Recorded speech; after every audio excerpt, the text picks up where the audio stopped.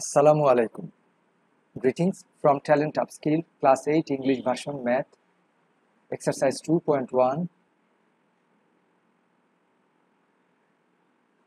Exercise 2.1, Math number 5. How much less will be the profit?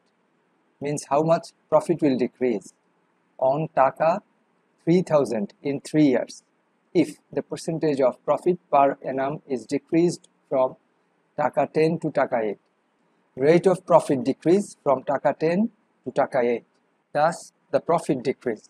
The question asking how much profit will decrease total in 3 years if the rate of profit changes from 10 to taka 8 per annum?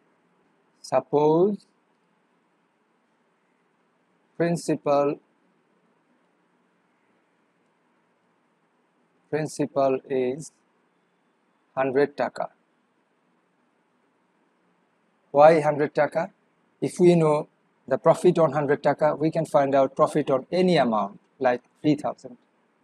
Here from the question we can see profit decrease 10 taka to 8 taka on 100 taka every year. So we can write profit decrease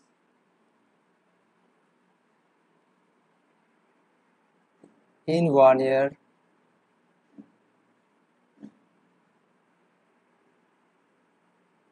Ten minus eight equals to two taka. Because the rate changes from 10 to 8 so profit decrease 2 taka.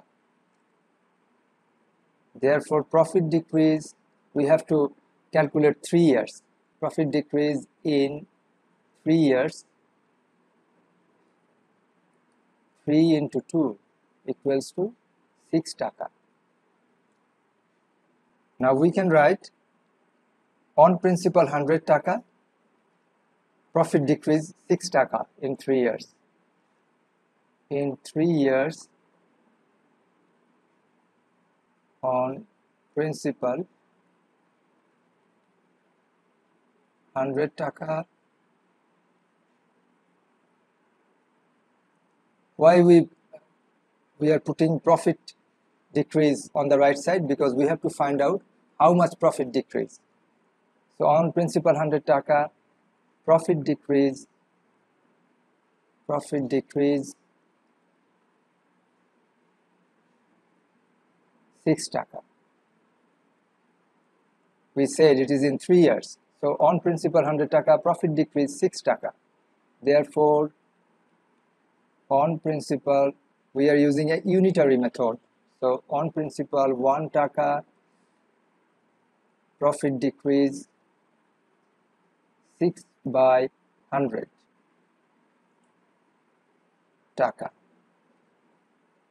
Therefore on principal we have to find out profit of 3000 so on principal 3000 taka profit decrease we, we have to multiply by 3000 6 by 100 taka.